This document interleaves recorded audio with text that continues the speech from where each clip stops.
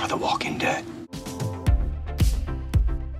Hey, welcome back Screen Crush, I'm Ryan Arey. So The Walking Dead was on for 11 seasons, and now a new spin-off series, Dead City, is about to start. And by the way, subscribe to Screen Crush because we're going to be covering every episode of that series. So The Walking Dead continues in multiple spin-offs, so we're going to recap everything from the main show so far. Sheriff Deputy Rick Grimes and his partner Shane Walsh are pursuing a criminal when Rick gets shot and falls into a coma. During his coma, the zombie apocalypse happens. His partner Shane attempts to get him out of the hospital, but the military show up, and they are not just killing zombies, or should I say, walkers. The military are also gunning down human beings before they have a chance to turn into walkers. Shane pushes a hospital bed in front of Rick's door and then he leaves to gather Rick's wife Lori and his son Carl and get them to safety. A few weeks later, Rick wakes up from his coma and discovers that the world has ended. Rick then meets fan favorite character Morgan and his son Dwayne. Morgan explains to Rick everything that's happened and tells him about the walkers. But you know about the dead people, right? Yeah, I saw a lot of that. Rick and Morgan eventually go their separate ways, and Rick makes his way to Atlanta in search of his family. Once he arrives, he meets a group of survivors, including Glenn, T-Dog, Merle, Morales, and Andrea. Merle is giving the group some trouble, so Rick sets him straight and handcuffs him to the roof of a building.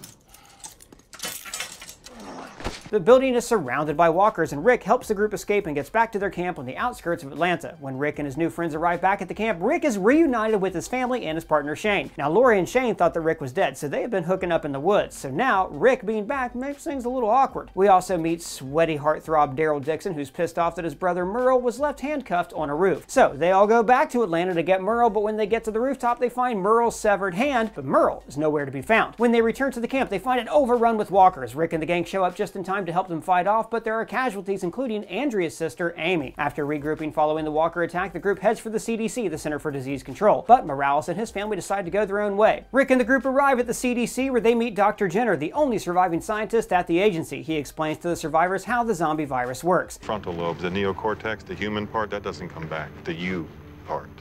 Jenner also reveals that he has given up on any hope. The CDC is set to self-destruct, and Jenner is not going to let Rick and the group leave because he insists that this is easier and a better way out. Rick convinces Jenner to open the doors and they escape just in time before the entire facility explodes. But before Rick leaves, Jenner whispers a secret in Rick's ear, and we as the audience don't learn this secret until the season 2 finale that everyone is actually infected. Even if you die by natural causes, you will resurrect as a walker. After leaving the CDC, we see the group head for a military base called Fort Benning. Along the way, Carol's daughter Sophia gets separated from the group, and while searching for her, Carl is inadvertently shot by a hunter named Otis. Otis takes them back to the farm where he lives, where we meet Hershel, a veterinarian who can save Carl's life, but he needs special surgical equipment from town. Shane and Otis go for supplies, but they get caught up by some zombies, so Shane makes the difficult decision to shoot Otis in the leg so he'll be a walker bait, allowing Shane to make it back to the farm with the supplies that he needs to save Carl's life. So this is the final straw for Shane's tilt to the dark side. His lust for Lori and leadership of the group reaches a boiling point, and he becomes a constant thorn in Rick's side as he becomes becomes the antagonist for season 2. Hershel reluctantly allows the group to stay on the farm, and his daughter, Maggie, falls in love with Glenn. But then Glenn discovers that Hershel is actually keeping walkers in the barn. Hershel believes that the walkers aren't actually dead and that they're just sick people who can be cured. Shane, in a fit of rage, proves to Hershel that he's wrong and slaughters all the walkers in the barn, most of whom were their family and friends. And then it's revealed that Sophia has been a walker in the barn the whole time. The whole time, the whole time you would, the whole time. The group has been searching for Sophia for weeks, and it turns out that Otis, before shooting Carl, must have found Sophia as a walker and put her in the barn. And he couldn't share that information with the group because Shane killed him before Otis found out that they were missing a little girl. Following this heartbreak, Hershel goes to a bar followed by Glenn and Rick. Then they meet a group of unfriendlies. The two men are part of a bigger group, but Rick tells them that there is not enough food at their farm, and it all leads to this.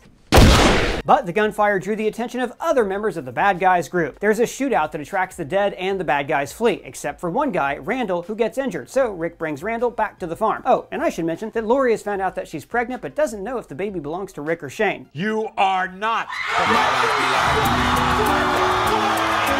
Lori tries to take some pills that would abort her pregnancy, but she throws up. Rick confronts Lori and she confesses that she and Shane were together while she thought Rick was dead. Rick forgives Lori and they decide to keep the baby together. Shane is furious that Rick brought Randall back to the farm and says that he should have left him there to die. Rick and Shane agree that Randall is too dangerous to let him join the group, but while Shane says they should kill him, Rick thinks it'd be better just to drive Randall out far from the farm and then cut him loose, like a dog. But then Randall reveals that he knew Maggie in high school and he knows where the farm is, so they can't leave Randall alive, but Rick still wants to think about it. This enrages enrages Shane and he says that they just need to kill him. And then everything bubbles to the surface. Shane says that he doesn't think that Rick can keep Lori and Carl safe and they get in a huge fist fight. They both walk away from the fight and bring Randall back to the farm. The group's moral compass, Dale, is appalled when the group votes to kill Randall. Rick, Shane, and Daryl take Randall to the barn to execute him, but when Carl walks in, he tells his dad to do it. And then Rick can't bring himself to. So shortly after the vote, Dale walks back to his camper and he is attacked by a walker. His death inspires Rick to pull the group back together. The group decides to let Randall live, so Shane kills him anyways and then lies to the group and says that he escaped. He then lures Rick into the woods to kill him, but Rick gets the upper hand and kills Shane. Shane then resurrects as a walker, and the gunfire from Rick and Shane's altercation draws a large group of walkers to the farm and it is overrun. Andrea is separated from the group and is saved by the katana wielding, walker taming badass Michonne. Rick and the survivors regroup away from the farm and he reveals to everybody that they are all infected.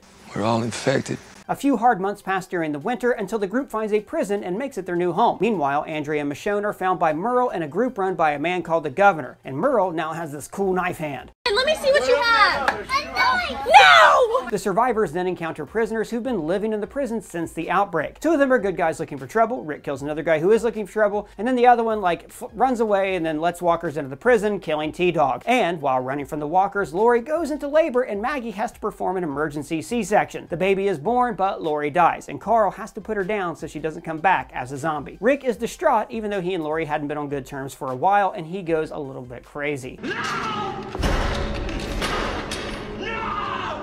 Andrea and Michonne are at the governor's base, a sectioned off downtown area called Woodbury. Michonne sees the governor for who he really is, like a really bad, crazy dude. He puts on the face of a squeaky clean politician for the citizens of Woodbury, but he's actually a murderer and a thief, and like I said, super creepy. Michonne tells Andrea not to trust the governor, but Andrea doesn't want to hear it and thinks that the governor is a good guy. Michonne leaves Woodbury and the governor sends Merle to bring her back. Maggie and Glenn go out on a run for baby formula when they run into Merle. Merle takes Glenn and Maggie hostage and they're tortured back at Woodbury while Michonne witnesses the whole thing. So then Michonne goes to the prison and tells the group about Merle being alive and torturing Glenn and Maggie. So the group goes to rescue them, but now Daryl is the one who's captured and he reunites with his brother. The governor pits them against each other in a death match, but Rick and the gang storm back in and save Daryl and Merle. The governor launches a counterattack on the prison and kills one of the prisoners named Axel. Then Tyrese and his sister Sasha come to the prison looking for shelter. Rick is about to let them in when he sees a vision of Lori that has been haunting him since her death. So they leave, end up at Woodbury, but Tyrese and Sasha see through the governor almost instantly. Rick, Michonne, and Carl go on a run back to their hometown in search of weapons to help fight the impending war with the governor. There they encounter Morgan, whose kid has died, and now he's a little bit insane. Rick is able to break through Morgan's haze and get him to remember who he is. He doesn't go back to the prison with Rick, but he does give the group a lot of guns to help fight their war. Andrea steps in and tries to play mediator between Rick and the governor. But those negotiations go nowhere. The negotiations were short. Andrea begins to see the governor for who he really is, and she attempts to go to the prison, but she's captured and locked away. Merle tries to ambush the governor, but he's overrun by bad guys and is killed. And then we get one of the saddest scenes in the entire series when Daryl finds his brother turned into a walker. The governor attacks the prison, but the group kicks him right in the woodberries and sends him running back home. The governor doesn't respond well to his people retreating, and he mows them all down. Rick, Daryl, and Michonne go back to Woodbury to finish the fight, and they find that Andrea has been bitten, so they find their peace, and Michonne puts Andrea down. The surviving citizens of Woodbury join Rick's group at the prison. The governor is on his own for a long time. He comes across some survivors that take him in. One of those characters is called Tara. The governor actually makes you start to like him as a character, and then he reminds you just how evil of a son of a bitch he is. He gets a tank, forms a new group of lackeys, and then rolls up to the prison for round two. Now during this time, an illness has hit the prison and some people die. So Carol kills some sick people, hoping to stop the spread of the virus, but one of those people was Tyrese's love interest, Karen. When Tyrese finds her dead, he snaps. You a cop. You find out who did this and you bring them to me, you understand? You bring them to me! Rick finds out it was Carol and banishes her from the prison. When the governor rolls up, he reveals that he has Michonne and Hershel as hostages. He tells Rick and everyone else that they need to leave or he'll kill Michonne and Hershel. Rick refuses and says the governor and his people can stay, but the governor doesn't buy it and he cuts off Hershel's head. Liar. A massive battle breaks out. Michonne then kills the governor and the prison is destroyed. The main group is separated and don't meet up again until arriving at Terminus. We came here for sanctuary. Is that what you here for? Yes. Rick, Carl, and Michonne think that Judith is dead, but it turns out that Tyrese has her, and he also runs into Carol, who saw the smoke from the war at the prison. Glenn and Tara meet up with Eugene, Abraham, and Rosita. Now, Eugene claims that he is a scientist who knows how to end the walkers and restore the world, if he can be brought to DC. Daryl and Beth escape together, but she's kidnapped by another group, so Daryl links up with a group of bad guys who have a run-in with Rick, and let's just say it doesn't go well for the bad guys. What the hell are you gonna do now, sport? Ah! And then we get this really great moment where Rick tells Daryl, You're my brother. Everyone heads for a sanctuary called Terminus, but they're trapped in a train car. Turns out the Terminus was too good to be true, and it is not a sanctuary. Instead, these people are cannibals. But Rick isn't fazed. He only says, You're with the wrong people. So Carol bazookas Terminus and helps Rick and the group escape, and they're all reunited. And for Rick and Tyrese, I guess Carol killing those innocent people is all water under the bridge. The group kills the cannibals, escapes Terminus, and meets Father Gabriel. They hold up at his church, and the cannibals track them down. Besides, I already made you a promise. The group then leaves for Atlanta and attempts to rescue Maggie's sister Beth, but she's killed in the process. And Eugene reveals that he was actually lying about being able to save the world. I don't know how to stop it. I'm not a scientist. The group is then on the road for a while. Tyrese gets bit by a walker, and it's a huge blow to the group. During a harrowing night in a barn, holding back walkers in a storm, Rick says the best line of the show. That we are the walking dead. Ah, ah, he said it! He said it! Then they meet Aaron, who takes them to a place called Alexandria. This is an enclosed neighborhood with walls that went up in the early days of the outbreak, so the people of Alexandria are not used to fighting walkers. Rick and the group have trouble acclimating to their new way of life, and as Rick predicts, Luck runs out. Alexandria faces challenges as Rick becomes their leader. See, he's a wartime consigliere. Not only does Rick have to deal with an abusive husband within the walls of Alexandria and a band of murderous survivors called the Wolves, but there's also a giant herd of incoming walkers. Morgan has also rejoined the group and has gone full Donatello. My people have guns. Much like Smokey, he's become a pacifist. And eventually, things get pretty good. Alexandria is thriving. Rick and Michonne fall in love, but then comes Negan. I'm Negan. You see, the survivors meet a nice new group called Hilltop, who have to pay a tribute to some guy named Negan. So Rick's group agrees to take out Negan in exchange for establishing fair trade with Alexandria. Negan runs a group called the Saviors, who raid groups of survivors and threaten to do it again if they don't provide a regular offering of food and supplies. Your property now belongs to Negan. Now, Rick gets a little big for them tight britches of his, and he thinks that he's going to take out Negan no problem when he takes out a mere satellite post with only some of Negan's vast army of saviors. So the saviors capture the survivors and bring them to Negan. Negan beats Abraham to death with his barbed wire wrapped baseball bat, which he calls Lucille, which later we learned was named after his late wife. After killing Abraham, Daryl jumps up and punches Negan, so in retaliation, he kills Glenn. Back to it. But Rick is still defiant, so Negan grabs Rick and Carl and tells Rick that he's going to have him chop off his son's arm. Rick sobs and snot bubbles and all that stuff, and then Negan stops right before he swings his axe. And just like that, Rick Grimes is broken. For now. After months of serving Negan and refusing to challenge him, Rick finally has enough when he realizes that Negan will eventually take everything they have. Rick joins Maggie, who has been wanting to go to war with Negan after he killed Glenn. Oh, and also she's pregnant with Glenn's baby. I'm pregnant. Alexandria and Hilltop join with another group called the Kingdom, led by King Ezekiel, who I might add has a pet tiger. Also, somewhere in here, Carol starts feeling bad about killing people and became a pacifist. Eugene is taken by Negan because he knows how to make bullets from scratch. Negan learns this when Rosita has Eugene make her a bullet so she can assassinate Negan. What is this? This little bad boy made from scratch? During the war, Negan and Carl develop a bit of a love-hate relationship. You see, Negan has a certain level of respect for Carl, and Negan is like broken when he learns that Carl was bitten by a walker and passed away. So it's Negan's relationship with Carl that ultimately gives Rick the upper hand in his final showdown with Negan. As Negan is about to strike Rick down, Rick asks Negan to give him 10 seconds to tell him why they can resolve the war and live in peace. Rick explains how Carl believed that he could resolve their differences, and we see Negan's eyes get teary and his bat begins to lower, and then boom, Rick slits Negan's throat and ends the war. Rick then spares Negan's life by asking a doctor from his group to save him, and Maggie is not happy. It's not over till he's dead. 18 months later, Negan is locked up at Alexandria. Maggie is running Hilltop after its original leader, Gregory, betrayed the group during the war and tried to have Maggie killed, so Maggie hanged him. Dude, Maggie's becoming cold. Yeah, can you blame her? Rick is determined to incorporate the Saviors into their way of life and rid them of their villainous ways. But not every Savior is interested in letting go of the war, nor is every member of the good guy groups, Alexandria, Hilltop the Kingdom, and Oceanside. Maggie and many others want Negan dead. His name was Glenn. So now what? You finally come for revenge? Justice. When Rick learns that Maggie is headed to Alexandria to kill Negan, Daryl offers to take Rick back to Alexandria to stop her, but Daryl is in on this assassination attempt, so he takes Rick far away. Once Rick realizes what Daryl is doing, they get in a fight and fall in a hole. After arguing out their differences, they escape the pit and split up. Rick leads an incoming herd of walkers away from the camp, but his horse bucks, throwing him into a cement block with a piece of rebar sticking out. Rick pulls himself off the rebar and gets back on his horse. He's losing a lot of blood, and he begins to have dreams about his life in the apocalypse, and he's revisited by characters who have died prior in the show, such as Shane, Hershel, and Sasha. What about his wife and son? Nope. That's weird. Yeah, so when Rick realizes that he has no choice, he leads the walkers to their new bridge and blows it up. I found him.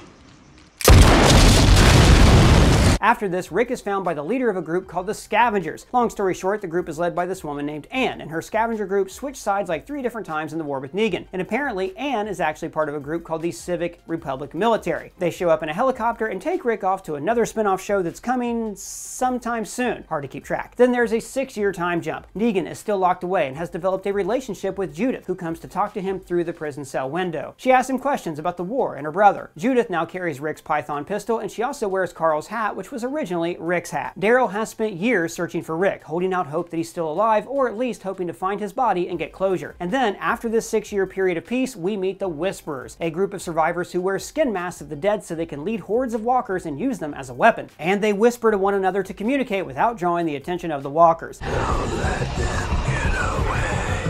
The leader of the Whispers is a woman named Alpha, and her muscle is this big old guy named Beta. Alpha's daughter Lydia joins the Hilltop after defecting from the Whispers. Then there's a war with the Whispers where several major characters die, like Tara and Enid. Oh, and did I mention Michonne and Rick now have a kid? His name is RJ, aka Rick Jr. He's super cute and has like five lines over three seasons. Anyways, Carol releases Negan from prison so that he can infiltrate the Whispers and kill Alpha. In exchange, Carol says that Negan will have his freedom and a home at Alexandria. Negan kills Alpha, meaning that he is now the Alpha. If I'm the alpha, why is someone who was most definitely not the alpha holding the badass shotgun? When the Whisperers capture Daryl, Negan is presented with the opportunity to kill him, but to prove that he can be trusted and that he wants to join the survivors, he spares his life. You should probably shoot me. Don't threaten me with a good time. So wait, what did Maggie do in the war? Well, she and her son Hershel are off with an unmanned group learning how to better build communities. What, like like apocalypse training camp? More like, didn't want to be in the show anymore camp. I should also mention that Michonne randomly left the show as well so she could go be in Wakanda forever. I mean, to search for Rick. When she's at Oceanside, she gets on a boat and finds an old iPhone with the drawing of herself and Judith carved into it, as well as Rick's old boots. So she leaves both her kids with Daryl and goes off to look for Rick. Michonne is going to return in the Rick spin off series, but Maggie actually returned for the final season of the show. We see Hershel and Negan meet for the first time. My mom told me a bad man killed my dad. After what Negan took from Maggie with killing Glenn right before her eyes, she understandably can never forgive him, and so she says as much. I can't forgive you. But she's grateful that Negan saved her son's life, so she's no longer trying to kill him. I don't want to hurt like that. And I don't want my son to see that anybody has that kind of hold over me.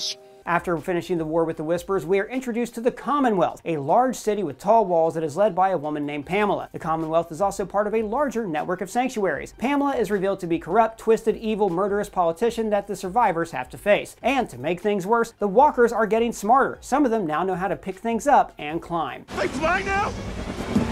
They fly now! The series ends with the survivors defeating Pamela and her tyrannical reign. We see Daryl go out on his own, setting up his new spin off series. And the final scene features the man himself, Rick Grimes, in a triumphant return teasing his brand new spin off series as well. We're the ones who live. And speaking of spin off series, Dead City features the unlikely team up of Maggie and Negan that's going to be coming soon, and we are going to be breaking down each episode right here on the channel, so be sure to subscribe and hit the bell so you don't miss it. Did we leave anything out that we should have mentioned? Any characters we should have mentioned? Let me know in the comments below or at me on Twitter. And if it's your first time here, please subscribe, smash that bell for alerts. For Screen Crush, I'm Ryan Arey.